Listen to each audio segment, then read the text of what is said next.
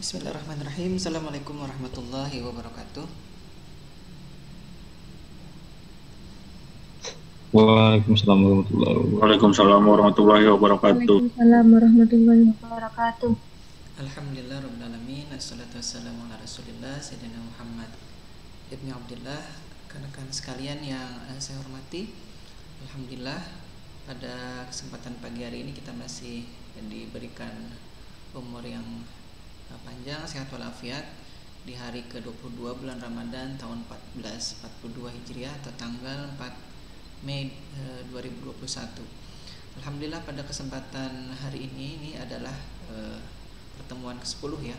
Sebelum minggu depan nanti mungkin sudah ada pengumuman libur dari eh, prodi atau dari kampus. Nanti kita akan eh, apa namanya? lanjutkan setelah lebaran ya.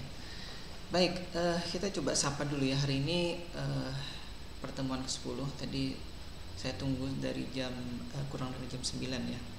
Tapi sudah jam 9 lewat berapa menit? Ini lewat 5 menit. Kita harus mulai karena nanti eh, waktu kita sangat terbatas untuk eh, pertemuan kali ini dan eh, seperti biasanya ya hanya dibatasi beberapa eh, apa namanya menit. Nah, eh, yang pertama kita coba lihat dulu. Tadi saya lihat sekilas yang rajin itu ada si Misbahul Anam yang saya eh, hafal namanya.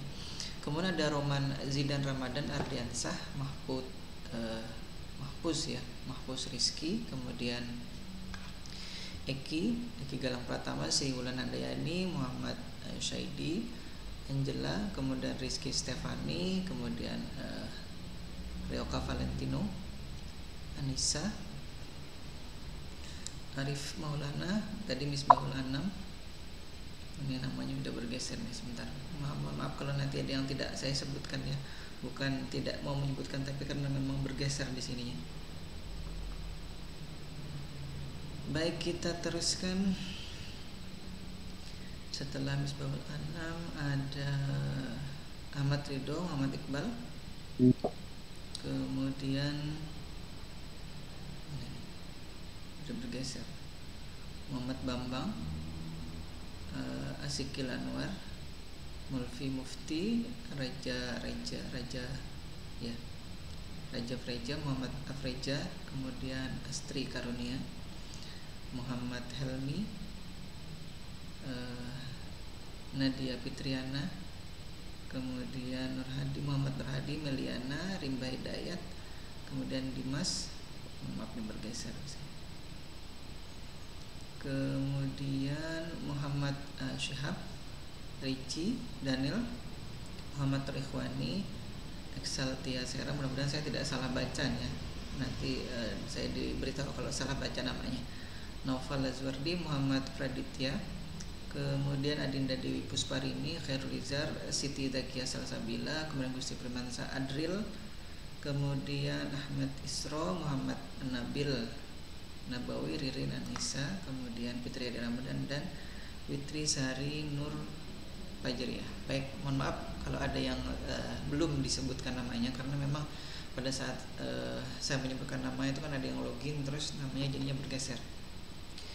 Baik kita akan coba lihat materi kita di hari ini. Uh, sebelumnya saya masih mohon maaf juga karena uh, masih belum selesai memeriksa hasil UTS-nya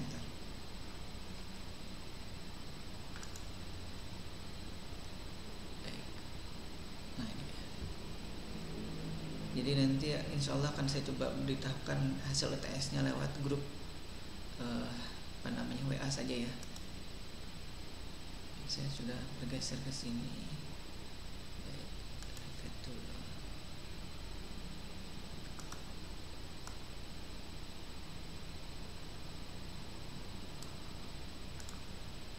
nah, saya geser lagi ke bawah nah ini saya sambil nyeting yang di OBS nya ya uh, kita coba lihat materinya ya. Nah kita hari ini sudah masuk ke materi yang uh, berikutnya lagi ya. Kalau sebelum sebelumnya kita sudah ke materi display second segment kemudian LCD juga kita coba masuk sedikit ke dasar sensor dan aktuator.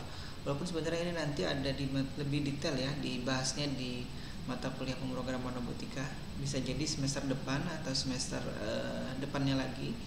Saya kurang tahu apakah nanti ada yang mengambil mata kuliah itu di dari kelas ini tapi biasanya lanjutannya dari setelah mikrokontroler itu akan lanjut ke uh, pemrograman robotika. Nah uh, kalau misalkan nanti kebetulan masih saya yang di dipercaya atau diminta untuk mengajar kita akan ketemu lagi dan akan dibahas lebih detail ya mengenai sensor dan aktuator ini uh, berikutnya kita akan coba mengingat kembali ya saya karena sekali lagi kalau saya itu sering lupa uh, apa yang sudah dipelajari ataupun apa yang sudah pernah diajarkan. Kadang-kadang saya harus membuka-buka lagi materi-materi di pertemuan-pertemuan sebelumnya. Kita coba lihat ya. Di awal-awal itu kita sudah mempelajari. Karena ini mata kuliah microcontroller jadi eh, yang dipelajari tentu saja eh, apa itu microcontroller dan komponen pembentuknya ya kemudian bagaimana dia dioperasikan di program eh, programmernya menggunakan apa dan sudah dikenalkan juga mengenai Arduino Uno kemudian Arduino yang lain juga. Kemudian ada yang eh, master micro Arduino modul yang kita punya di kampus yang beberapa kali mungkin kawan-kawan meminta untuk uh, praktikum tapi saya kurang tahu apa sudah dicoba hubungi prodinya karena saya tidak berani mengizinkan untuk uh, kita praktikum di kampus kalau tidak ada izin dan uh, apa namanya uh, instruksi dari prodi untuk praktikum gitu ya. Sebenarnya kalau dari edaran pemerintah saya kira itu boleh dengan tetap menerapkan protokol uh, kesehatan dari COVID-19 ini ya.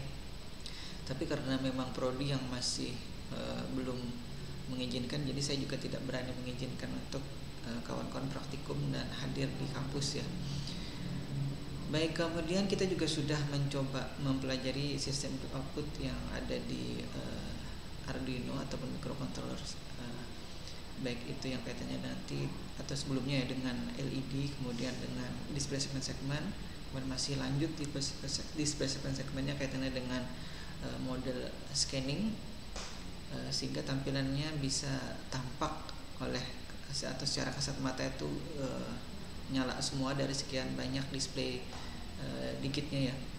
Kemudian kita juga sudah masuk ke bagaimana membuatnya berkedip. Ini sekedar variasi saja ya. Kemudian kita kombinasikan dengan tombol atau push button di sini. Kemudian uh, terakhir kita sudah masuk ke LCD ya liquid crystal display yang 16 kali 2 dan kita yang uh, sudah apa namanya perlihatkan atau demokan kemarin adalah yang kaitannya dengan uh, eh, LCD uh, eh, yang menggunakan koneksi I2C atau I2C dan sudah kita kombinasikan juga kemarin di demonstrasinya kaitannya dengan tombol toggle ya tombol toggle ini bukan toggle ya. Baik hari ini kita akan masuk ke eh, ini gambarnya kemarin ya. Kita akan masuk tadi sudah disampaikan di awal ke sensor dan aktuator. Apa itu sensor? Apa itu aktuator? Nanti kita coba lihat dasar-dasarnya ya nah e, kenapa di mungkin ada yang bertanya kenapa diajarkan sensor dan aktuator karena e, mikrokontroler itu biasanya ya kalau dia dioperasikan e, atau digunakan di aplikasi-aplikasi yang e, ada di luar sana maka biasanya dia tidak lepas dari yang namanya uh, sensor, kemudian aktuator ataupun juga indikator. Nah, yang kita sudah pelajari yang kaitan dengan input output kemarin itu beberapa di antaranya adalah atau bukan beberapa ya, hampir semuanya kaitannya dengan indikator ya. Karena ada indikator yang berupa LED, ada indikator yang berupa LCD, ada indikator yang berupa display segmen-segmen. Nanti kita mungkin uh, sampai juga ke uh, apa namanya indikator atau display yang menggunakan dot metric ya dot metric display tapi belum itu kita kita selingi dulu dengan yang ini karena biar tidak terlalu bosan dengan materi yang uh, indikator ya atau display tadi nah uh, tadi sekali lagi biasanya tidak lepas dari yang tiga ini ya. Uh, tadi displaynya sudah atau indikatornya sudah. Indikator itu adalah biasanya yang menandai atau menandakan aktivitas yang sedang terjadi di uh, apa namanya di mikrokontrolnya ya atau aktivitas yang ingin kita tunjukkan uh, indikasinya ya. Jadi kalau misalkan kita ingin tunjukkan bahwa bahwa ini sekarang sedang lampu lampu yang kita kendalikan sedang menyala. Maka kita beri indikasi dengan LED kecil yang ada di uh, modul apa namanya I/O-nya atau yang ada di uh, sekitaran modul apa sih namanya ya konsulnya istilahnya ya pengendali utamanya itu. Nah biasanya di di sekitar situ kita beri.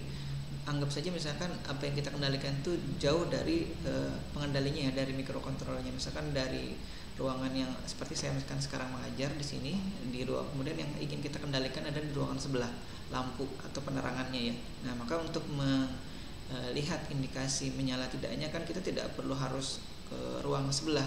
Kita hanya perlu mungkin melihat indikasi atau indikator yang ada di uh, sekitaran mikrokontroler atau modul pengendalinya ini di ruangan saya sekarang misalkan gitu ya.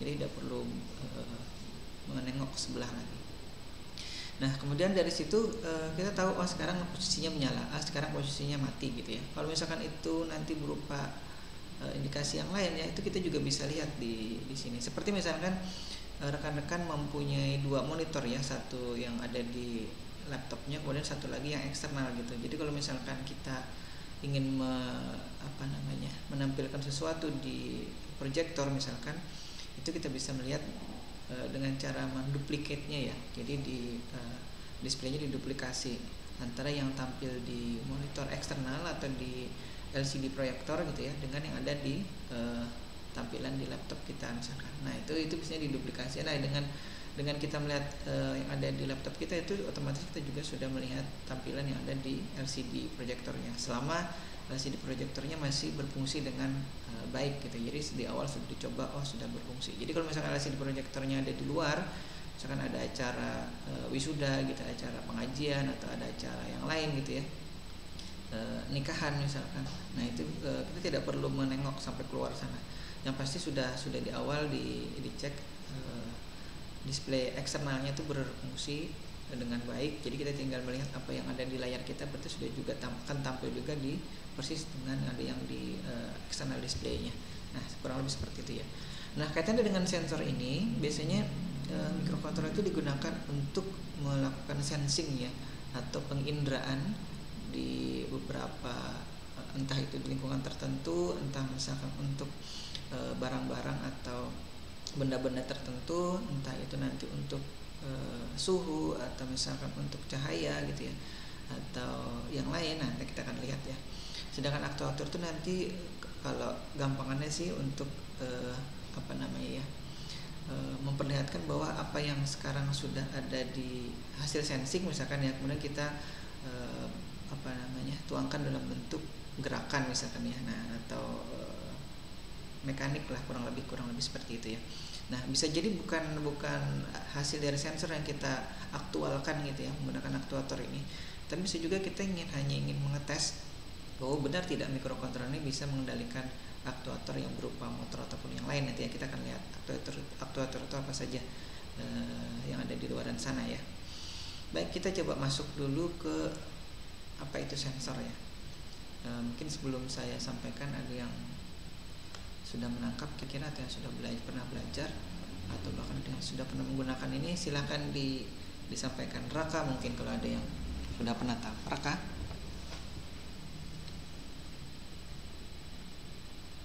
Halo Raka? Valentino? Anam? Nih, mungkin masih sambil ini sambil tiduran ya. Kalau sambil sarapan ya bisa jadi ada yang sarapan ya. Yang kebetulan tidak berpuasa pada hari ini bisa jadi uh, sekarang lagi sarapan atau sambil cuci muka atau sambil uh, yang lain ya ngopi mungkin. Jadi tadi uh, responnya belum belum nampak di sini. Coba kita uh, lihat siapa aja yang ada di sini tadi ya. Ya pak. Nah ini Anam yang merespon. Sudah pernah tahu Anam apa itu sensor?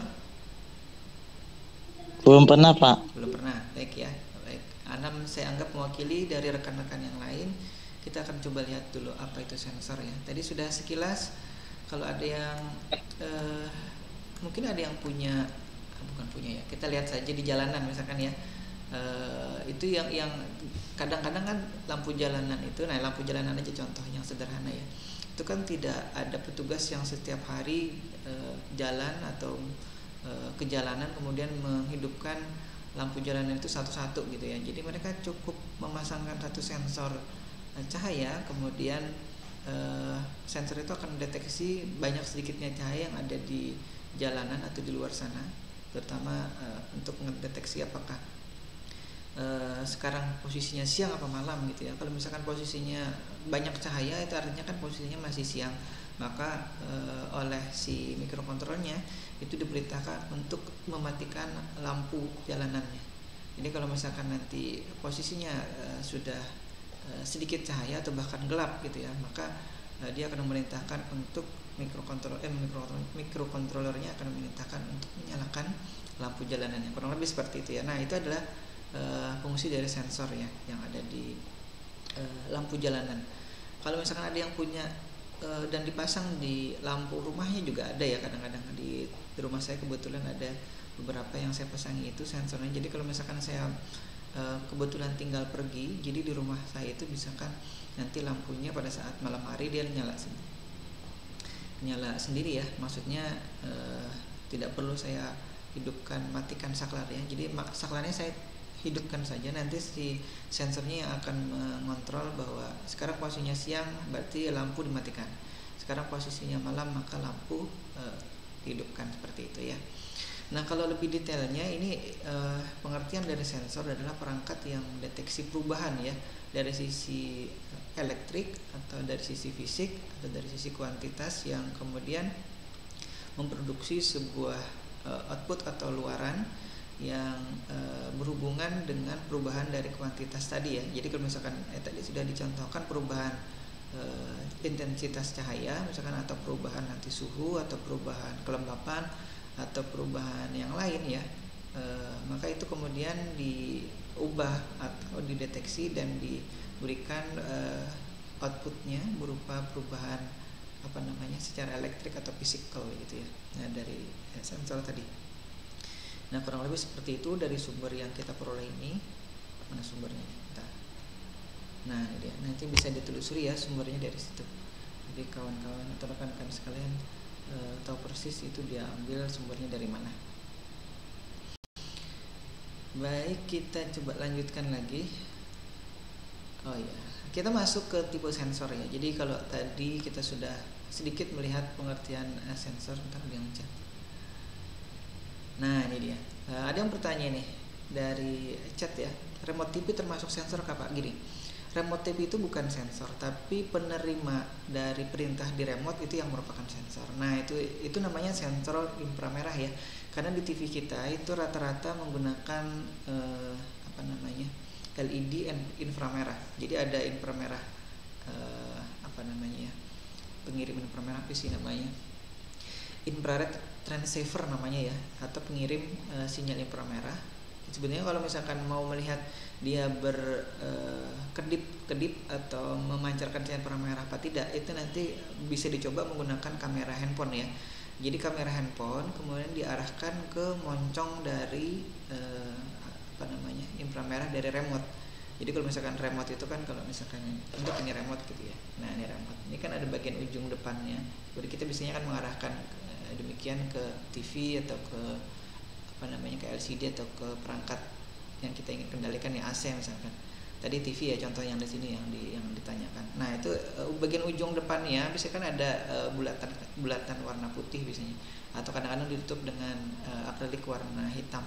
Nah kalau misalkan kita ini ya arahkan hand, kamera handphone ke sini mungkin agak terganggu nih karena ada background saya di atas sini ya tadi kan ada ada LED inframerahnya itu diarahkan ke situ kemudian kita pencet tombol si remote-nya maka di kamera kita biasanya bisa menangkap eh, apa namanya kedap kedipan ya kedipan atau cahaya yang muncul dari LED inframerah atau infrared transceiver-nya tadi yang mengirim inframerahnya tadi.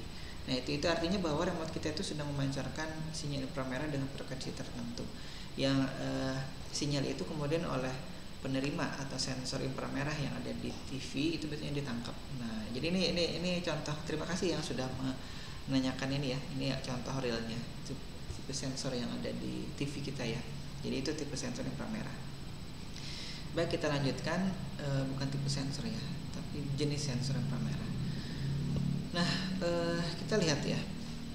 Jadi eh, sensor yang paling sering digunakan di apa namanya di luaran sana itu menurut sumber ini berdasarkan kuantitas eh, apa namanya yang diukur ya itu biasanya dibagi dari menjadi beberapa. Yang pertama sebentar. Nah jadi yang pertama ini adalah eh, arus listrik ya. Jadi arus listrik ini yang biasanya di eh, sensing atau di deteksi menggunakan sensor ya.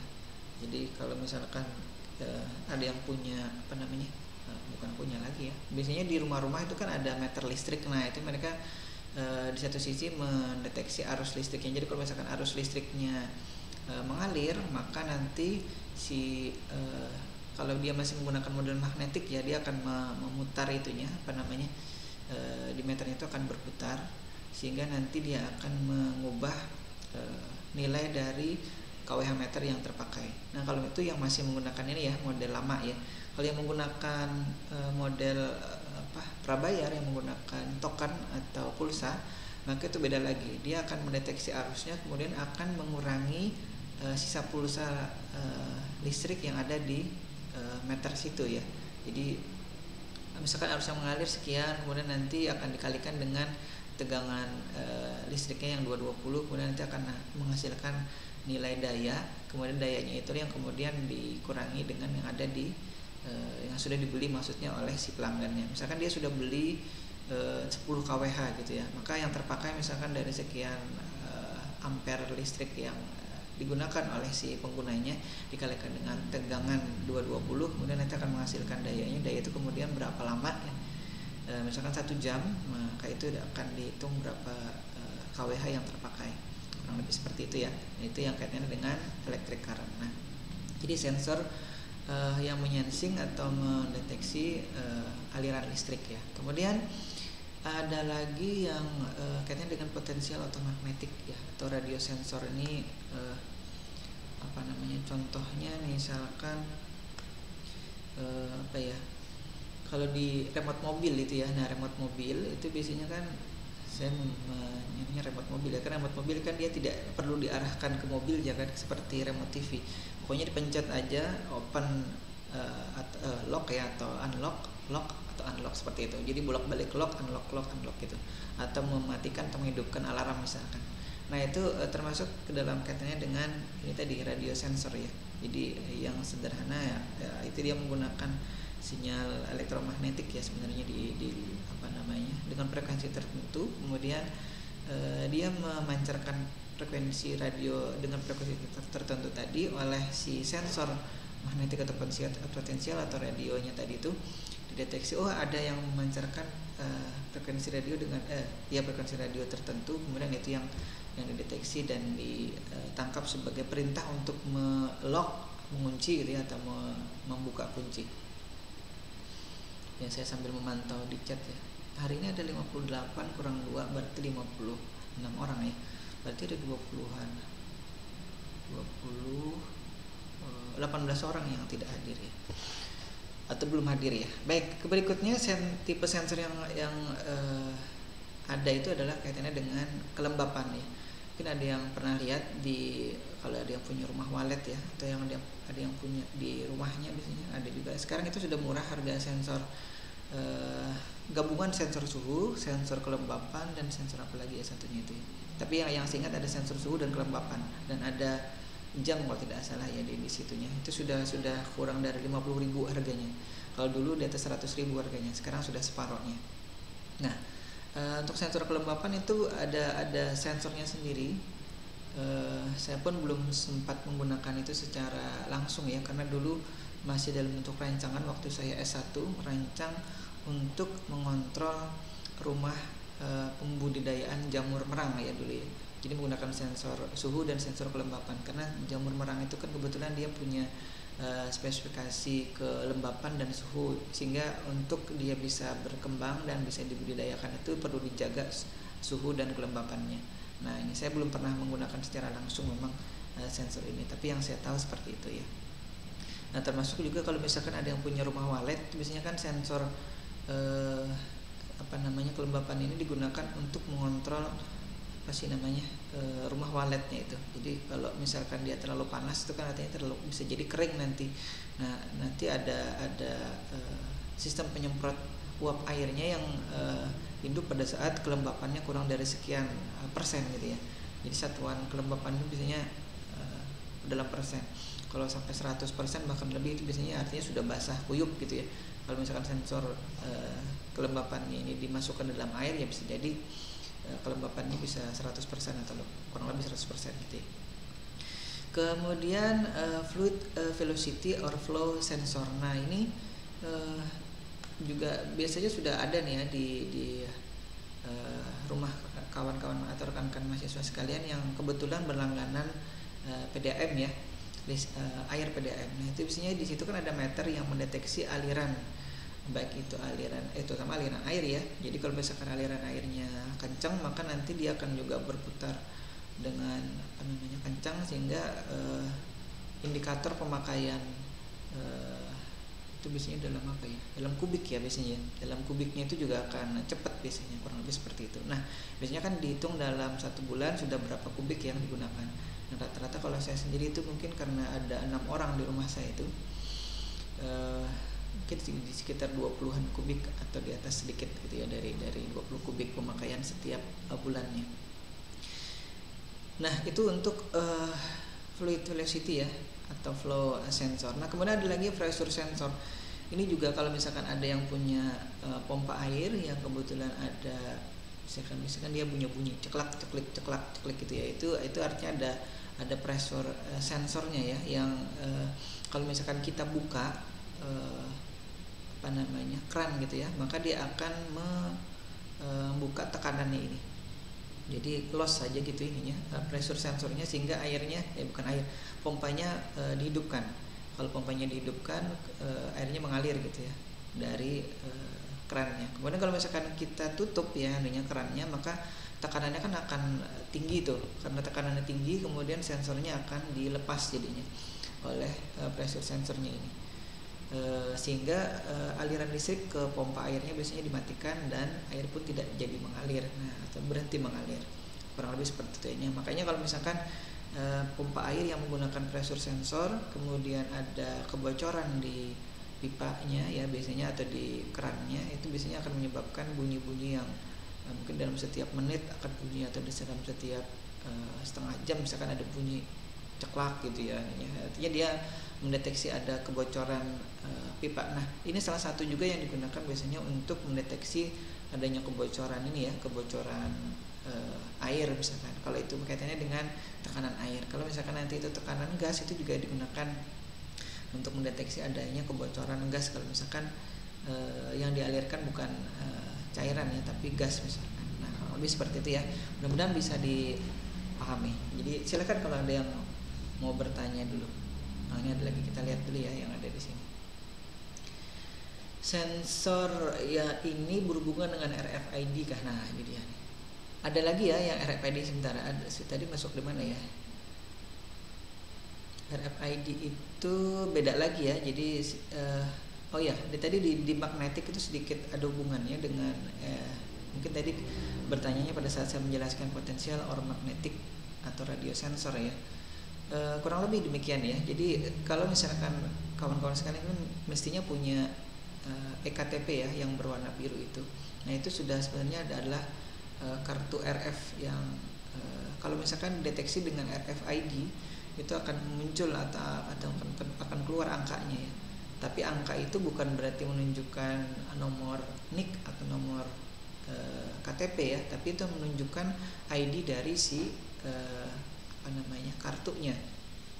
Jadi kalau misalkan uh, eh, RFID itu kan ini biasanya sudah ter uh, apa ya saya terekam di kecamatan ataupun di dinas uh, capil uh, apa namanya nomor RFID sekian gitu ya. Misalkan 1234 punyanya si Anam misalkan itu sudah terhubung ke basis data yang Ah, namanya Muhammad An, uh, Misbahul Anam misalkan. Umurnya sekian tahun gitu ya. Alamatnya di mana orang tuanya siapa dan seterusnya ya. Nah itu. Jadi sekali lagi yang tersimpan di dalam uh, kartu KTP kita ataupun di SIM kita itu ya itu biasanya uh, nomor dari atau identitas kartunya bukan identitas orangnya. Jadi kalau misalkan dideteksi, dideteksi pun menggunakan RFID reader itu bukan data-data dari uh, si pemilik KTP-nya yang keluar kurang lebih seperti itu. Itu tadi kaitannya dengan RFID ya di uh, magnetic atau radio sensor tadi. Nah itu sumbernya di sini ya. Nah kita teruskan ya masih ke tipe sensor yang lain. Ini tipe tipe sensor thermal atau panas atau temperatur tadi ya sudah uh, saya sempat sebutkan bisa jadi ini penggunaannya di kalau yang punya uh, air conditioner ya atau AC di rumah itu juga sebenarnya ada sensor temperaturnya di sini. Jadi setiap kalau misalkan dia sudah mendeteksi sen, uh, temperatur di dalam ruangan itu sekian derajat sesuai dengan yang kita inginkan ya. Misalkan 27 derajat atau 26 derajat, maka kalau sudah mencapai suhu sekian itu sesuai yang diatur tadi maka dia akan mati ininya apa namanya kompresornya ya. Yang hidup hanya misalkan fan-nya saja tapi e, pendinginnya kompresor pendinginnya itu akan e, dimatikan.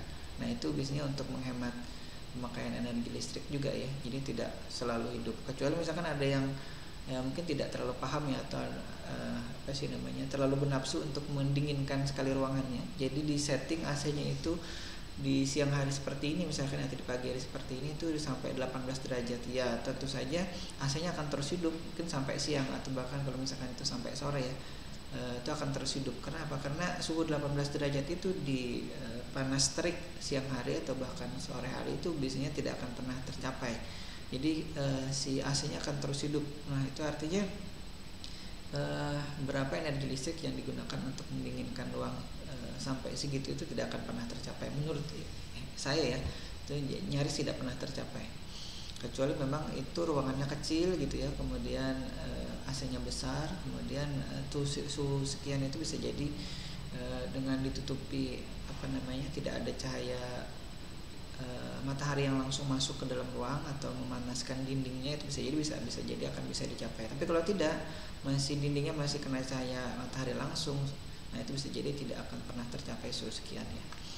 Nah kalau yang semikian itu biasanya kan di, di tembok-temboknya dipasangi apa namanya eh, apa istilahnya ya eh, peredam panas dan lain-lain itu. Untuk mengantisipasi tadi eh, suhu mataharinya itu atau tembok yang terkena matahari langsung atau panas matahari itu langsung mengenai e, tembok yang ingin didinginkan tadi. Ya misalnya khusus ya ruangannya untuk pendingin ini ya pendingin apa namanya uh, misalkan uh, lemari es atau pendingin untuk makan makanan yang uh, tertentu ya. Nah berik berikutnya ada proximity sensor ya. Kalau tidak salah ini biasanya ini untuk mengukur jarak kalau tidak salah. Nanti akan kita uh, uh, contohkan juga. Nah, salah satunya adalah nanti yang menggunakan ultrasonic sebagai uh, proximity sensor. Nah kalau ada yang punya robot itu ya atau yang pernah melihat robot yang menggunakan sensor ultrasonik itu biasanya uh, oh ya yang paling gampang itu kalau di luar ya kalau ada yang belum belum pernah melihat robot yang menggunakan sensor ultrasonik itu adalah sensor mundur dari mobil biasanya ya yang non kamera ya jadi yang menggunakan sensor ultrasonik atau sensor ping kalau istilahnya kalau di saya ya atau di kami itu biasanya menggunakan kata-kata uh, sensor ping Nah itu kalau di mobil ya biasanya kalau dia sudah mencapai uh, jarak tertentu antara sensor itu atau bumper mobil yang dipasangnya sensor proximity tadi ya, kemudian dengan benda di sekitarnya maka dia akan menimbulkan bunyi atau mengindikasikan bunyi. Nah kita belum sampai ke indikasi bunyi ya. Kalau yang kemarin kita pelajari itu sampai indikasi berupa LED, LCD dan uh, segmen display. Nah kalau yang berupa bunyi kita belum belum sampai ke sana. Nah nanti mudah-mudahan kalau sempat kita akan coba ya menggunakan apa namanya uh, indikasi berupa bunyi. Jadi kalau misalkan dia sudah jaraknya setengah meter ya kalau di mobil itu biasanya dia akan membunyikan bunyi uh, apa namanya buzzer ya istilahnya buzzer nih gitu. Kalau misalkan masih uh, di atas satu meter dia paling bunyi titit titit titit gitu ya hanya, hanya gitu aja atau bip bip bip bip bip bip gitu. Tapi kalau misalkan sudah setengah meter bahkan kurang dia akan berbunyi dengan nada tanpa jeda seperti itu yaitu sensor yang ada di mobil ya. Kemudian ada optical sensor. Optical sensor ini uh, kalau dulu ada uh, apa sih namanya? Uh, PCD player atau DVD player gitu ya itu salah satunya menggunakan optical sensor kalau yang uh, umumnya sekarang sensor optik itu adalah kamera yang sekarang kita gunakan untuk uh, zooming zoom meeting ini yang baik itu dipasang di laptop baik itu yang dipasang di di handphone atau yang dipasang di kamera eksternal dari PC-nya seperti itu ya. Nah, itu optical sensor. Nah, saya juga gunakan optical sensor ini di penelitian-penelitian terakhir saya karena memang apa yang ada di optical sensor itu tidak uh, apa istilahnya ya? Tidak ada yang semu istilahnya. Artinya gini. Apa yang ditangkap oleh optical sensor itu memang betul-betul misalkan dia menangkap uh, gambar atau image atau citra uh, orang ya, jadi berarti dia memang orang.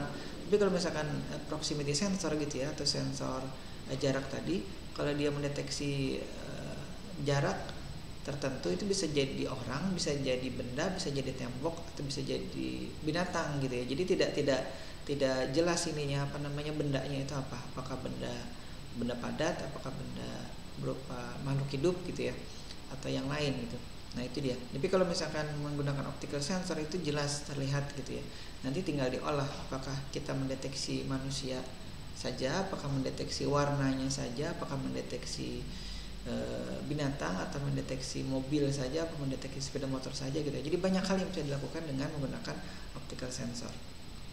Nah kemudian ada yang kesembilan ini position sensor ini e, kalau di handphone-handphone yang sekarang yang Android gitu ya atau yang e, OS anunya eh, sistem operasinya itu sudah dilengkapi dengan GPS ya.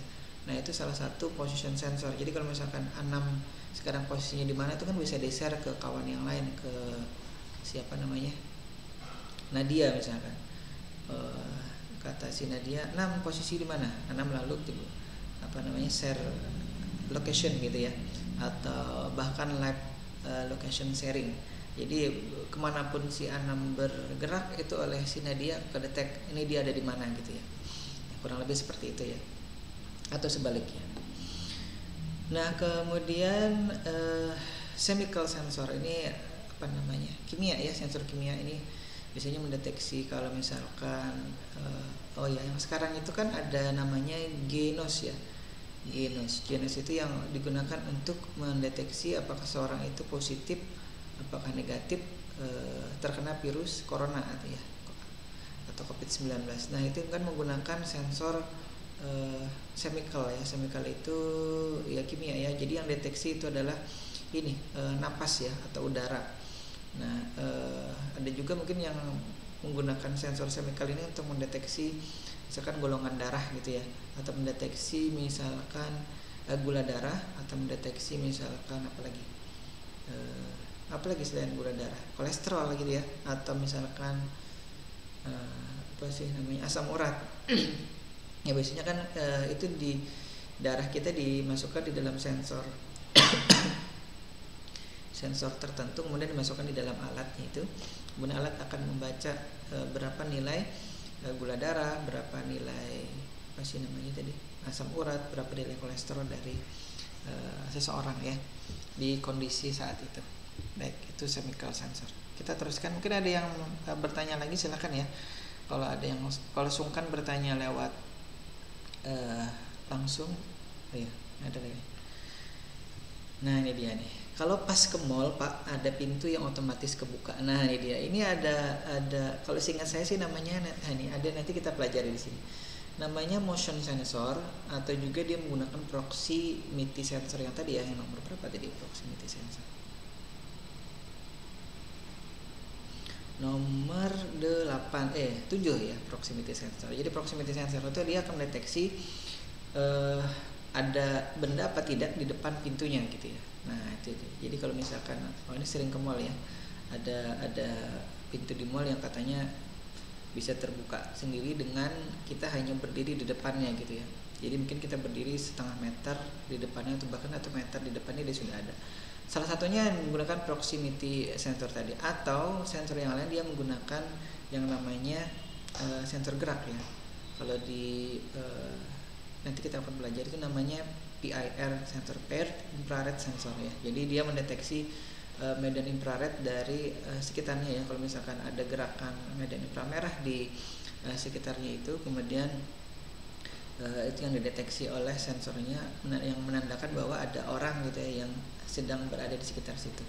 Konon di uh, badan kita ini mungkin ada ada uh, sinyal inframerah yang uh, dipancarkan juga ya selain tadi dari remote TV atau remote AC gitu. Nah uh, tadi sudah mudah-mudahan terjawab ya pertanyaannya ya. Saya tidak apa yang bertanya siapa. Meliana ya.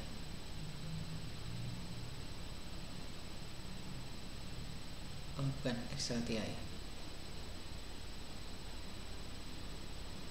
Baik, kita teruskan. Ada lagi yang namanya environment sensor. Environment sensor ini uh, apa ya istilahnya ya? Ini adalah sensor yang uh, bisa jadi digunakan untuk mendeteksi uh, keadaan lingkungan sekitar ya. Jadi uh, bisa jadi ini merupakan kombinasi dari beberapa sensor atau bisa jadi masih kaitannya dengan optical sensor tadi uh, bisa juga dia menggunakan apa ya saya lupa ya namanya itu. Uh, kayak model radar gitu ya. Jadi kalau misalkan ada yang pernah melihat uh, mobilnya Google ya yang yang jalan-jalan di jalanan itu ada namanya aduh saya lupa namanya. Uh, intinya dia pakai model radar gitu.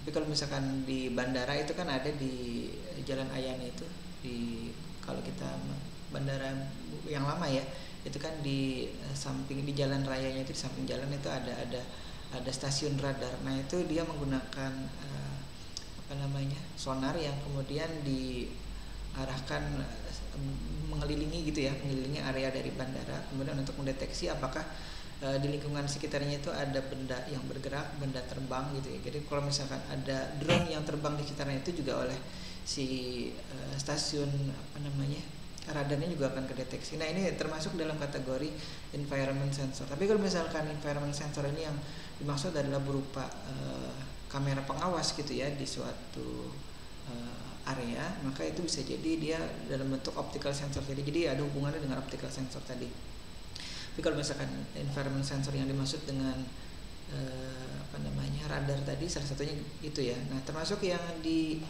di ini ya di tadi mobil mobil yang uh, Google yang jalan-jalan sana kemari kemudian dia men, me, apa sih namanya menyensing apa yang ada di sekitarnya sehingga kalau misalkan dia uh, jalan ke depan Simik Banjarbaru yang ada di Sultan Adam sini gitu ya kemudian uh, kita akses ke Google Street gitu ya maka kita akan bisa melihat sekitaran atau kurang lebih 360 derajat uh, yang ada di sekitaran depan Kapos Timik Banjarbaru itu ya anunya apa namanya keadaannya. Nah itu karena dia juga menyensing sekitarnya jadi ditangkap dan direkam gitu ya keadaannya. Nah berikutnya yang uh, sensor yang lain adalah magnetic switch sensor. Ini ada yang uh, kalau saya digunakan magnetik ini uh, dulu ya ada namanya sensor yang dipasang di pintu itu. Jadi kalau misalkan apa namanya antara pin, pintu itu ketutup maka antara uh, magnetic sensornya itu dengan magnetnya yang terpasang di pintu itu dia akan uh, berdekatan gitu ya. Karena berdekatan oleh si magnetic sensornya dideteksi oh ini ada ada pintunya ketutup. Kalau pintunya ketutup maka alarmnya dimatikan. Nah itu mungkin ada yang pernah lihat ya eh, apa namanya alarm pintu yang berupa magnetik itu. Nah kemudian kalau misalkan pintunya kita buka dan keadaan apa alarmnya dalam keadaan hidup maka si sensor magnetiknya akan mendeteksi bahwa nah, sekarang kondisi si apa namanya si pintunya kebuka eh, karena pintunya kebuka gitu ya uh, ini dianggap mungkin ada ada penyusup atau ada orang yang uh, masuk tanpa izin gitu ya. Tapi kalau misalkan si empunya rumah yang masuk maka dia bisa mematikan alarmnya. Nah, uh, sebenarnya masih banyak lagi sensor yang lain ya yang uh, yang ada di luar sana tapi paling tidak 12 itu yang mewakili dari beberapa sensor yang ada di uh, luar sana. Termasuk tadi ya yang yang tadi ditanyakan oleh kawan-kawan kita baik itu untuk TV infrared sensor kemudian ada juga tadi yang mendeteksi gerakan ataupun inframerah yang ada di pintu mall gitu ya baik nah sekarang kita akan masuk contohnya tadi sudah sudah disebutkan contohnya sambil uh, saya menjelaskan sekarang kita akan masuk ke penjelasan yang lebih detail ya, kaitan dengan sensor ya Nah, kita akan masuk contoh sensor ultrasonic ya. Itu tadi di uh, penjelasan awal itu disebut sebagai proximity sensor. Kenapa saya sebutkan atau sampaikan ininya dalam bahasa Inggris? Oh, mohon maaf sumbernya ke tumpang eh, atau ke tindih di sini ya. Uh, karena memang uh, biar kita sambil belajar juga menerjemahkan apa yang memang sudah di uh, luar sana uh, berikan pengertian ya seperti ini. Misalkan ultrasonik ini sebenarnya adalah pada prinsipnya ya uh, seperti radar gitu ya, atau sonar juga tapi dia uh, cenderung uh, mengarah ke hanya beberapa derajat ya. Misalkan uh, 30 derajat gitu ya ininya jangkauan sudut dari pancaran inframerah ya apa apa sih? Ultrasoniknya ini. Kemudian kalau misalkan kita pancarkan tanpa kita tangkap lagi juga itu tidak bisa me, me, apa namanya mengindikasikan apa-apa ya. Karenanya biasanya sensor ultrasonik itu dia e, sepasang ada ultrasonik e, transceivernya atau pengirimnya kemudian dia nanti juga me, menggunakan satu lagi sensor ultrasoniknya yang menangkap pantulannya ya. Jadi misalkan kalau dia e, dipantulkan tadi ya kalau dipasang di mobil maka setelah dia mengirimkan uh, sinyal ultrasoniknya kemudian pantulannya itu kemudian ditangkap lagi oleh si sensor ultrasoniknya. Nah pantulannya itu kemudian dihitung berapa cepat atau seberapa lama pantulan itu ditangkap oleh apa namanya sensor ultrasoniknya kemudian dikonversi ke dalam bentuk uh, satuan yang lain sehingga kita kemudian mendapatkan uh, satuan misalkan sentimeter atau satuan uh, meter atau satuan milimeter gitu ya tergantung nanti apa namanya dia bisa mengukur sampai resolusi berapa atau masih dalam satuan meter kah atau masih dalam satuan sentimeter atau bahkan sudah masuk ke dalam satuan milimeter gitu ya mengukurnya. Nah dari situ kita kemudian bisa tahu oh kalau misalkan waktu pantulnya satu detik misalkan itu ya. Maka jaraknya artinya benda yang dideteksi itu adalah satu meter misalkan ya. ini contoh saja ya. Sebenarnya ada perhitungan apa namanya perhitungan detailnya. Nanti kalau sudah masuk ke program itu biasanya ada ada perhitungan detailnya. Ada eh, standar perhitungannya. Jadi kita tidak tidak asal ngawur. Karena kalau misalkan kita harus mengalibrasi dari awal itu eh, mungkin agak lama. Tapi kalau misalkan kita sudah dapat informasinya e, pantulan sekian mili detik misalkan itu itu artinya e, jaraknya sekian sentimeter. Nah, ada pun frekuensi yang dipancarkan oleh e, ultrasonic e, transceiver atau pengirim sinyal ultrasonik itu sekitar mungkin 40 kHz ya. Kalau manusia itu kan me, apa namanya mendengarnya itu dari 20 Hz sampai 20 kHz ya. Artinya kalau misalkan kita disuruh mendengarkan uh, sinyal ultrasonik ini itu juga bisa jadi tidak bisa mendengar karena saking tingginya frekuensinya ya. Jadi uh, untuk mendeteksi ada atau tidaknya sinyal ultrasonik ya kita harus menggunakan sensor ultrasonik ya. Sebentar ya. Saya lihat masih jalan.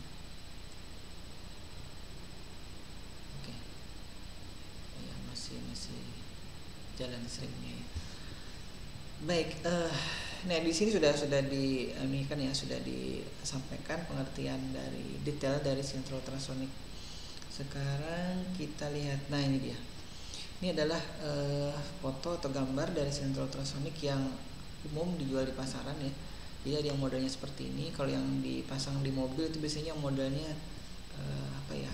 Jadi satu antara pengirim dan penerimanya itu lebih simpel biasanya. Bentar ya saya ngecek ini dulu.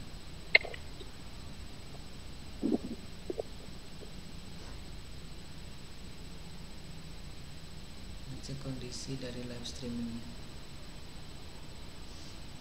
Dan tidak ada gangguan. Baik uh, itu contoh nih ya. Uh, gambar dari sebuah sentral ultrasonik. Nah, di sini di salah satunya ini adalah e, pengirim dan salah satunya penerima. Kalau di jeli di sini di gambar yang e, saya tunjukkan di slide ini itu terlihat ada tulisannya T, ya ini ya, yang atas nih ya, atau yang sebelah kiri, kemudian yang sebelah kanannya itu R. T itu artinya transceiver, kemudian R itu artinya receiver. T itu e, pengirim, kemudian R itu adalah penerima. Karena tadi uh, disampaikan di awal dia perlu uh, mengirim dan kemudian menangkap hasil uh, pantulannya ya uh, di situlah kemudian kita tahu dan bisa menghitung seberapa uh, apa namanya jarak dari benda yang dideteksi atau memantulkan sinyal ultrasonik tadi. Nah kemudian untuk temperatur sensor sendiri tadi sinyal ultrasonik ya sudah dijelaskan. Kita belum sampai ke pemrogramannya. Nah di sensor temperatur atau sensor suhu ini dia akan memberikan apa namanya eh, hasil sensing dari eh, suhu yang kemudian nanti diberikan uh, outputnya dalam bentuk besaran-besaran listrik ya electrical signal yang kemudian kita nanti bisa hitung juga. Kalau misalkan sih dalam bentuk ini juga ya satuan resistansi juga jadi kalau misalkan dia uh, hasil resistansinya kemudian ada hubungannya dengan nanti kalau itu di, diberikan sumber tegangan atau sumber daya atau power supply-nya kemudian kalau misalkan uh, nilai resistansinya anggap saja 100 uh, ohm gitu ya. 100 ohm itu bukan 100 ohm dan tante ya. Tadi ohm itu satuan dari resistansi uh, ohm ohm gitu ya OHM anggap saja 100 ohm maka misalkan kalau dia uh, sensornya memberikan uh, apa namanya hasil resistansi 100 ohm. Kalau misalkan tadi sudah dihubungkan dengan sumber tegangan enggak hasilnya sumber tegangannya misalkan uh, setengah volt gitu ya. Maka suhunya yang terdeteksi pada saat itu misalkan ya itu adalah e, eh, 30 derajat misalkan.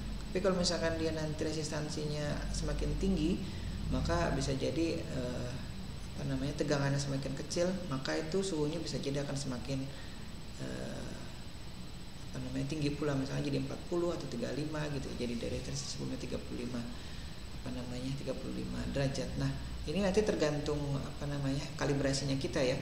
Jadi kalau kita mau mengukur sesuatu itu biasanya kita harus melakukan kalibrasi dulu.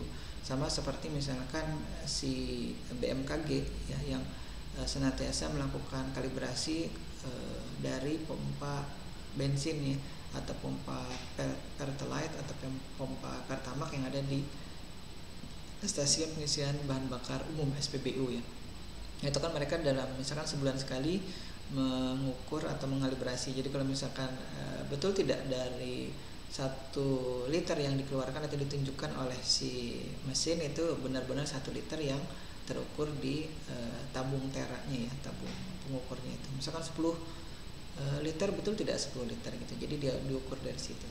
Nah, itu namanya kalibrasi ya. Nah ini tadi kaitannya dengan sensor temperatur. Nah kurang lebih seperti ini bentuk-bentuk sensor temperaturnya ini. Kalau ada yang pernah bongkar mungkin motor dari kipas angin gitu ya. Itu biasanya dipasangnya salah satu dari yang ini. Ya biasanya dipasangnya yang ag agak uh, yang atas itu ya. Biasanya salah satunya itu yang kecil itu biasanya untuk mendeteksi kalau misalkan si motor kipas angin itu sudah terlalu panas maka dia akan memutuskan uh, arus listriknya ya. Biasanya kan kalau dia sudah kepanasan sekali harus diganti. Jadi kalau misalkan motor eh, kipas angin kita itu tidak lagi mau berputar atau tidak lagi mau nyala bisa jadi hanya ininya yang rusak. Saya dulu pernah juga e, tidak tahu ya pada saat apa namanya motor apa dulu ya motor pengisap apa namanya udara di dapur kalau tidak salah itu ya. Itu e, mati jadi saya bawa ke tukang ini. Ternyata hanya itunya yang rusak. Dia cabut sudah jalan lagi. Tapi tidak diganti. Katanya suruh beli sendiri di pasar. Ah, saya malas beli ke pasar ya udahlah biar aja. Yang penting dijaga tidak uh, kepanasan apa namanya kipas anginnya itu atau kipasnya itu tidak akan merusak lagi motornya. Jadi ini yang biasanya salah satu yang dipasang di motor gitu ya nah kalau misalkan di mobil nanti bentuknya beda lagi ya yang mendeteksi panas uh, mesin mobil ya. Jadi kalau misalkan mesin mobil itu mencapai suhu misalkan eh, 80 derajat maka dia akan menghidupkan kipas pendinginnya ya. Makanya kalau misalkan kita menjalankan mobil itu kemudian nanti dia akan ada kipasnya kadang hidup kemudian dia mati lagi kadang hidup dia mati lagi. Jadi selain radiator yang mendinginkan mesin mobil itu salah satunya juga adalah menggunakan ini baik sudah jam 10 kita teruskan lagi ya. Sedikit lagi. Nah ini tadi yang ditanya oleh si apa tadi ya XLT ya kalau tidak salah yang ada di uh, mall. Ini salah satunya adalah yang menggunakan VIR sensor atau pair eh, infrared sensor atau uh, sepasang sensor inframerah gitu ya intinya ya kurang lebih. Ini biasanya di, di, digunakan untuk mendeteksi gerakan ya atau motion detector mohon maaf. Nah uh, salah satu bimbingan saya kebetulan menggunakan sensor ini untuk uh, dipasang di toilet ya. Jadi kalau misalkan toilet itu uh, ada yang menggunakan maka nanti lampunya juga akan hidup. Tapi kalau sudah tidak ada yang menggunakan toiletnya maka e, lampu penerangannya akan dimatikan. Oleh mikrokontrolernya dengan informasi atau berdasarkan informasi dari sensor ini. Mohon maaf ya. Karena ini puasa saya tidak bisa minum. Baik, saya teruskan nanti dibaca sendiri ya. Nah, e, bentuknya kurang lebih seperti ini sensor e, PIR-nya atau sensor PIR biasanya kalau di pasaran saya dulu menyebut sensor beli sensor PIR gitu. Mungkin harganya sekitar eh, dua puluh ribu sampai berapa lima puluhan ribu ya tergantung uh, mereknya atau tergantung uh, apa namanya sensitivitasnya. Nah ini biasanya outputnya yang kemudian dihubungkan ke microcontroller yang bernilai satu atau nol gitu. Jadi selama ada gerakan misalkan kita berada di dekat sini ya, dia diberi power supply tegangan, kemudian kita bergerak di sekitarnya, maka uh, outputnya akan bisa jadi nol atau satu ya saya lupa untuk dia aktif itu. Kita anggap misalkan ya kalau dia aktif itu satu ya, ada gerakan artinya satu. Kalau misalkan kita diam tidak ada gerakan di sekitar sensornya maka dia akan bernilai nol seperti itu. Nah itu oleh microcontroller kemudian uh, dihubungkan ke aktuator nantinya ya. Nanti kita masuk ke aktuator setelah ini. Nah itu yang menggerakkan uh, motor dari pintu kalau tadi dipasang di uh, pintu mall ya. nah ini hubungan dengan aktuator tadi. Selain sensor tadi ya ada namanya juga aktuator. Nah kalau dari uh, apa namanya kamus bahasa Inggris nih ya sumbernya mana nih sudah saya sebutkan aktuator adalah perangkat yang menyebabkan sebuah mesin atau uh, peralatan lain itu beroperasi. Jadi kalau misalkan itu aktuator ini bentuknya sebenarnya salah satunya adalah motor ya. Nanti kita lihat. Jadi ada, ada yang punya mainan mobil-mobilan atau pesawat-pesawatan yang bisa bergerak itu salah satunya digerakkan oleh aktuator ini. Karena uh, di dalamnya ada aktuator yang berupa motor ya.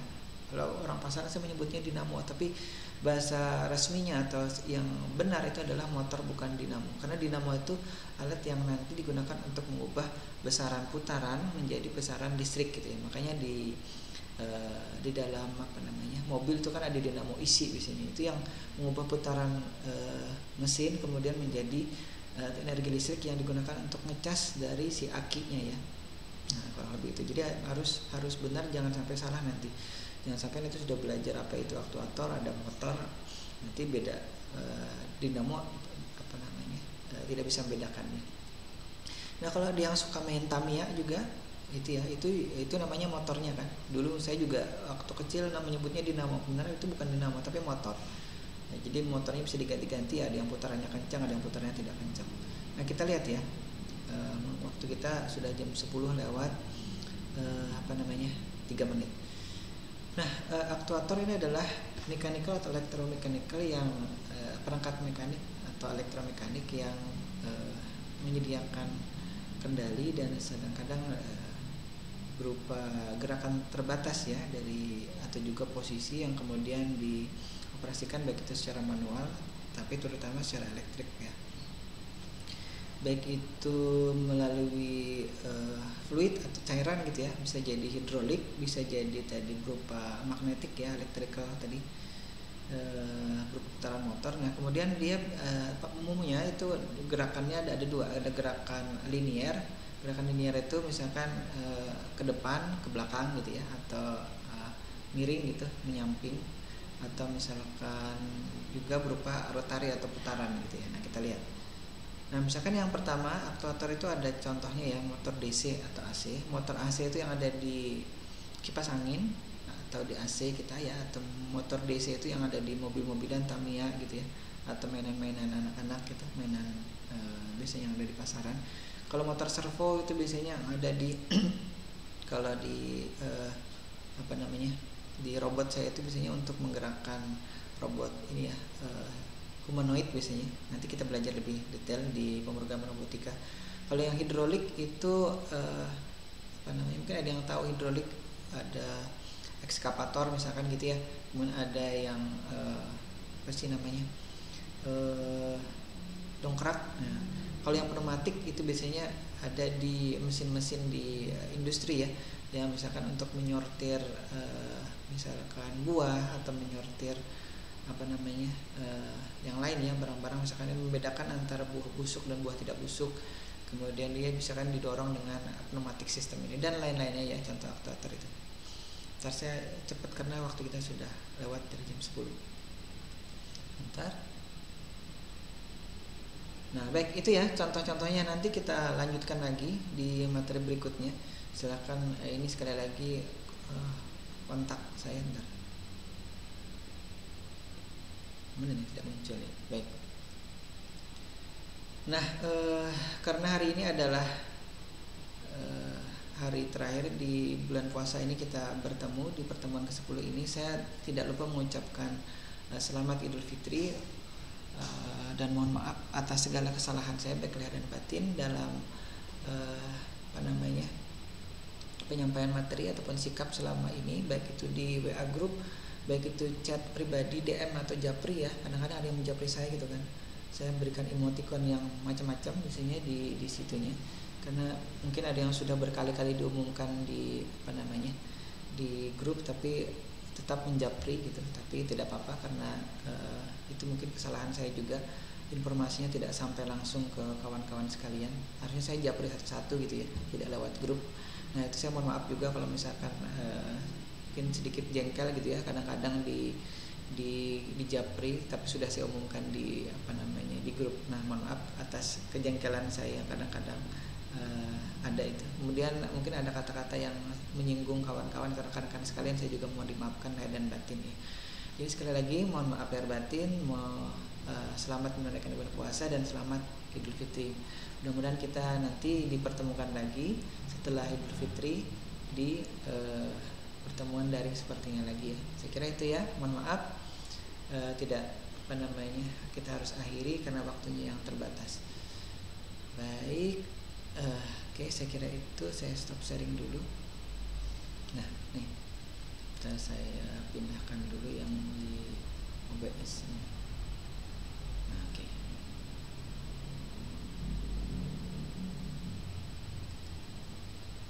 saya kembali ke Zoom. Baik, eh, demikian ya eh, pertemuan kali ini. Nanti kalau ada pertanyaan lagi bisa disampaikan di eh, WA grup atau kalau yang sungkan di grup karena mungkin ada rekan lain yang bisa jadi ngebully ya takut dibully kawannya ya sudah di japri saja atau di email saja ya kalau misalkan di email itu biasanya saya bisa menjawab lebih panjang karena saya bisa mengetik kalau di ini nanti biar tidak keriting jempolnya ya kalau di handphone. Baik sekali lagi eh, mohon maaf terima kasih atas eh, kehadiran dan perhatiannya pada kesempatan hari ini. Saya akhiri dengan wabillahi taufiq hidayah. Assalamualaikum warahmatullahi wabarakatuh. Waalaikumsalam warahmatullahi wabarakatuh. Waalaikumsalam warahmatullahi wabarakatuh.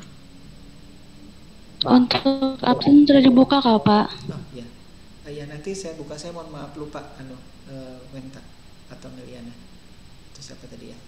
Nanti insya Allah saya buka abis ini sebentar ya. Saya lupa. Terima kasih Pak. Oke sama-sama.